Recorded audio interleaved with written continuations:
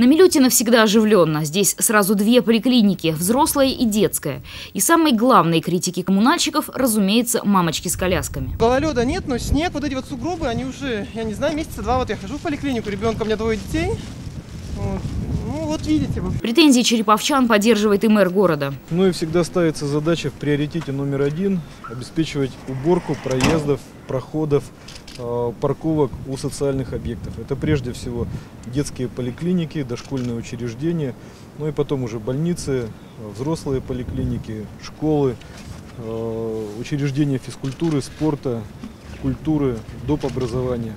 Как ситуация выглядит на сегодняшний день по выполнению этого задания? Проезды в основном приведены в порядок, сообщил заместитель мэра Василий Семичев. Но проблем еще довольно много. Какие объекты еще не обеспечены уборкой в полном объеме и в какие сроки эта задача будет э, решена В полностью? полном объеме не обеспечена уборка по- подъездов к школам. Думаю, что в течение, вернее, не думаю, а уверен, что в течение недели эти вопросы мы решим. Учтут коммунальщики в этом графике и новые снегопады, которые обещают синоптики. В любом случае, ко всем социальным объектам дорожки должны быть почищены. Не должно быть наледи и снежных заносов. Как раз с этим есть проблемы у детской поликлиники на Беляева. Подходы к зданию чистит спецавтотранс. Всю территорию обязаны приводить в порядок само учреждение.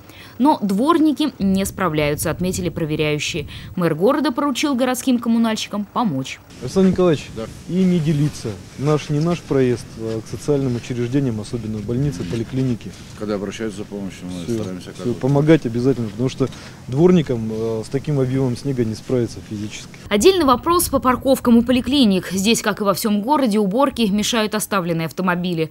Договориться с владельцами авто сложно, отмечают городские власти. Вера Кучеренко, Сергей Павлов. Новости.